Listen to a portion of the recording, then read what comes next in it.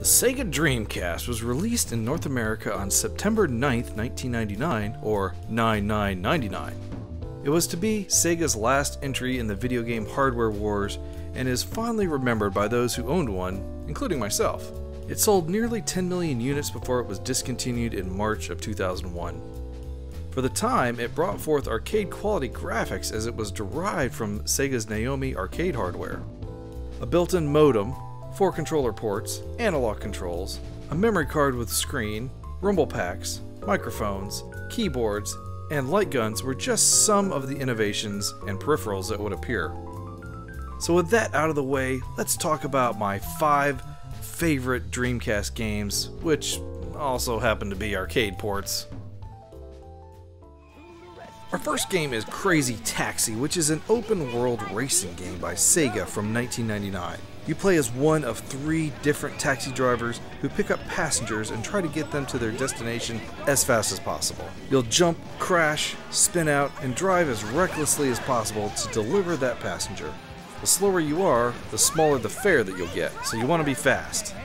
Songs by Bad Religion and The Offspring are memorable highlights of this version, which were removed from the later ones. In addition to the main game, challenges called Crazy Box are included, my favorite being the one where you have to crash into the bowling pins. Two sequels were made thanks to the popularity of the original Crazy Taxi 2 and Crazy Taxi 3 High Roller. A must have game for the Dreamcast. Uh, just keep your eye on the road. Next is Gauntlet Legends, released in 1998 to arcades by Atari Games. Gauntlet Legends is a sequel to the original Gauntlet game from 1985. This one, however, includes beautiful, for the time, 3D graphics, a mesmerizing soundtrack, and a variety of levels and creatures to battle through.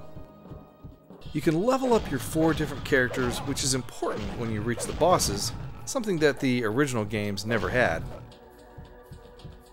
There is something really addictive about the hack and slash genre, and Gauntlet Legends lives up to that fantastically.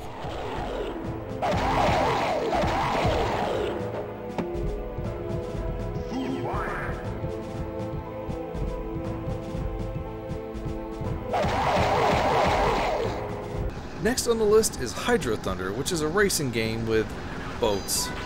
This Midway Games game was released in March 1999 to arcades and was a launch title for the Dreamcast. There are several incredibly detailed stages, each with jumps, boosts, and sometimes crazy events like massive drops, hurricanes, earthquakes, monsters, that kind of stuff. As you'd expect, the goal is to reach the finish line first. The more often you do, the greater your score, which will allow you to unlock more boats and more tracks. I really enjoy the physics of this game as you can slide around on the water easier than you could with a car. A sequel was made in 2010 for the Xbox 360 called Hydro Thunder Hurricane, which is equally fun and crazy.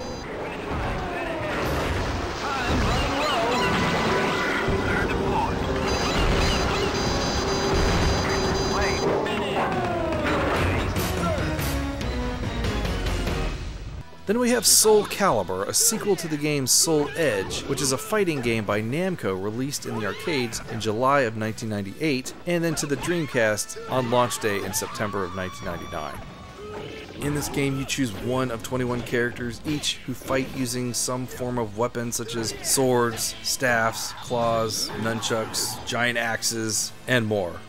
As with most fighting games, the goal is to knock out your opponent either by draining their energy or literally knocking them out of the ring. The Dreamcast port is superior to the arcade with 3D backgrounds, new game modes, costumes, and characters. And according to Metacritic, Soul Calibur for the Dreamcast is one of the highest rated video games of all time, coming in at 98%.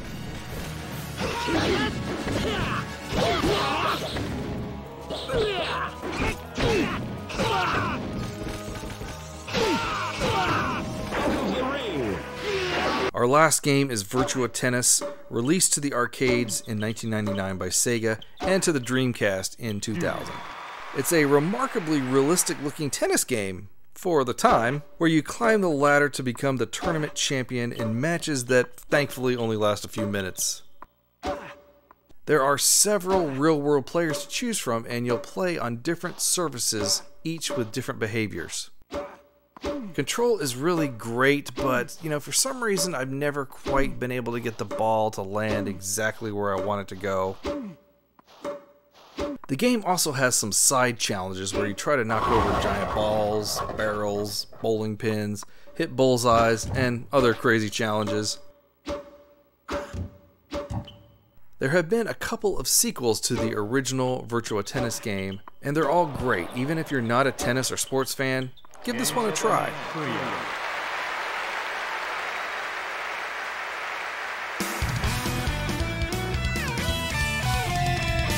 So there you have it, five of my favorite Sega Dreamcast games. An amazing system from Sega that's remembered for its great games and short lifespan. If you enjoyed this video, please click the like, share, and subscribe button so that you'll be notified of future videos. Thanks for watching and have a great day.